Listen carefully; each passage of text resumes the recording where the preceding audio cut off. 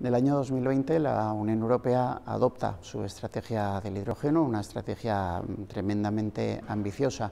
Un año más tarde, en 2021, en Navarra nos dotamos con una agenda del hidrógeno verde en Navarra. Una agenda que tiene seis ejes claros mm, para fomentar, convertirnos en una región de, de referencia en Europa en este sentido.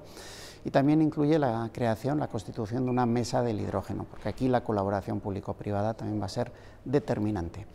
Fruto de esta colaboración público-privada también tenemos que mirar más allá, más allá de lo que es eh, nuestro ámbito de acción en Navarra y tenemos claro que la colaboración, el colaborar en redes, alianzas, más allá de nuestra comunidad es fundamental.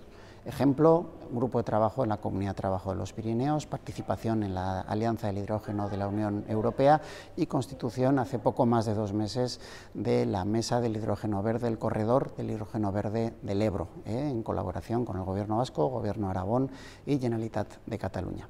Fruto de este acuerdo que hemos hecho con estas otras tres comunidades autónomas, eh, estamos ya elaborando una hoja de ruta, mm, detectando proyectos colaborativos con otras regiones, con otras empresas de de, este ámbito geográfico del Ebro y todo ello lo pondremos en común en unas jornadas que celebraremos aquí en el próximo otoño en Navarra con, como digo, con estas otras tres comunidades autónomas, porque el objetivo claro es que Navarra sea una región de, referencia, tanto en la constitución, distribución y también en toda la cadena de valor industrial del hidrógeno verde, siempre en colaboración con nuestras comunidades vecinas.